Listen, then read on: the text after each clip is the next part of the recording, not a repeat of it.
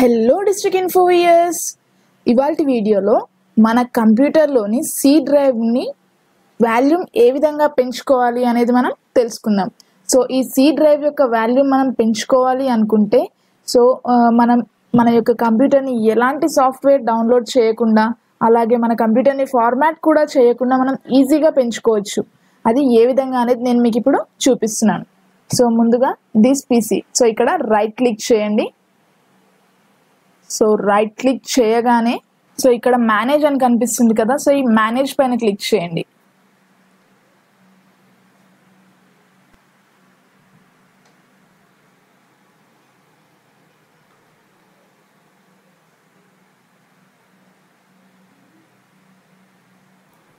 So మనకి computer management అనే ఒక డైలాగ్ బాక్స్ ఓపెన్ అయింది కదా సో ఇక్కడ లెఫ్ట్ సైడ్లో చూడండి మనకి system tool storage and services and application so ఇవన్నీ ఆప్షన్స్ కనిపిస్తున్నాయి కదా. ఇక్కడ స్టోరేజ్ దగ్గర డిస్క్ మేనేజ్మెంట్ అని ఉంది కదా.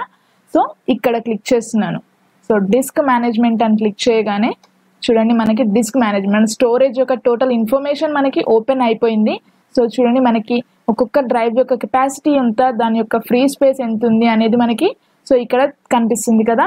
సో చూడండి మనకి విండోస్ సి విండోస్ సి వచ్చేసి నేను త్రీ సిక్స్టీ జీబీ పెట్టుకున్నాను. సో నేను డ్రైవ్స్ అనేటివి పార్టిషన్ చేసుకున్నప్పుడు విండోస్ సి అనేది నేను త్రీ సిక్స్టీ జీబీని పెట్టుకున్నాను.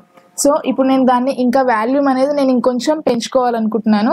సో చూడండి నాకు ఇక్కడ విండో న్యూ వాల్యూమ్ ఎఫ్ ఉంది కదా. సో చూడండి ఈ ఎఫ్ కూడా నాకు వాల్యూమ్ అనేది ఎక్కువగా ఉంది. సో నేను ఏం చేస్తున్నానంటే ఈ న్యూ వాల్యూమ్ ఎఫ్ని సో ఈ విండోస్ సిలోనే యాడ్ చేయాలనుకుంటున్నాను. వాల్యూమ్ వచ్చేసి. సో అప్పుడు నాకు విండోస్ సి వాల్యూమ్ అనేది కొంచెం పెరుగుతుంది. సో అది ఏ విధంగా అనేది చూడండి. సో ఇప్పుడు మనకి ఒకవేళ న్యూ వాల్యూమ్ ఎఫ్లో కనుక ఏదైనా డేటా ఉంటే గనక మనకి ఇంపార్టెంట్ డేటా ఉంటే మనం ఇంకొకటి ష్రింక్ వాల్యూమ్ చేసుకొని సో అప్పుడు మనం ఆ డేటాను అందులో క్యాపీ చేసి ఇప్పుడు మిగిలిన డేటాని ఇందులో యాడ్ చేసుకోవచ్చు. సో బట్ నేను డైరెక్ట్గా మీకు యాడ్ చేస్తున్నాను. సో ఏ విధంగా అనేది నేను మీకు ఇప్పుడు చూపిస్తున్నాను. సో చూడండి ఇప్పుడు న్యూ వాల్యూమ్ ఎఫ్ ఉంది కదా.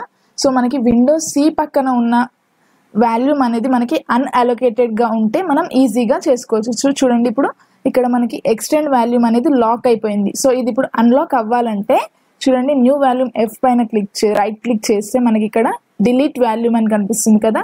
సో డిలీట్ వాల్యూమ్ క్లిక్ చేస్తున్నాను. So deleting this volume will erase all the data on it backup any data you want keep it keep before deleting so do you want to continue so నేను నాకు important data ఏది లేదు కాబట్టి so నేను yes అని click చేస్తున్నాను. So మీకు ఏదైనా ఇంపార్టెంట్ డేటా అయితే ఉన్నట్లయితే సో నేను ముందుగా చెప్పినట్టు ఇంకొక వాల్యూని స్ట్రింక్ చేసుకొని సో దాంట్లో డేటాని కాపీ చేసుకోండి. సో నేను ఇప్పుడు ఎస్ క్లిక్ చేస్తున్నాను. సో నాకు ఈ న్యూ వాల్యూమ్ ఎఫ్ అనేది ఇప్పుడు అన్అలొకేటెడ్గా చూపిస్తుంది. సో ఎస్ సో చూడండి టూ ట్వంటీ జీబీ అనేది నాకు అన్అలొకేటెడ్గా చూపిస్తుంది.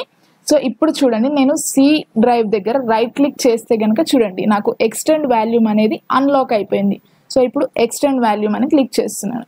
So welcome to extend volume wizard so click next and next finish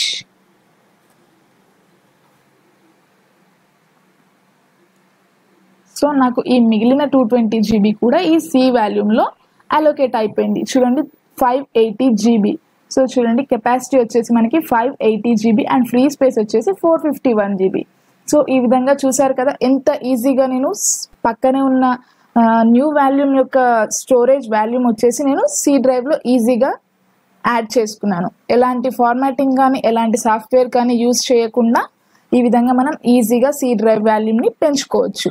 so ఇది వ్యూఎస్ మీకు ఇంకేమైనా డౌట్స్ ఉంటే కనుక నాకు కామెంట్స్ రూపంలో తెలియచేయండి నేను మీకు క్లారిఫై చేస్తాను. సో ఈ వీడియో కనుక మీకు నచ్చినట్లయితే లైక్ చేయండి మరియు షేర్ చేయండి. మరిన్ని లేటెస్ట్ అప్డేట్స్ కోసం మా యూట్యూబ్ ఛానల్ని సబ్స్క్రైబ్ చేసుకోండి. అలాగే పక్కనే ఉన్న బెల్ ఐకాన్ కనుక క్లిక్ చేసినట్లయితే నేను అందజేసే వీడియోస్ మీకు లేటెస్ట్గా పాపప్గా అందుతూ ఉంటాయి. Thank you viewers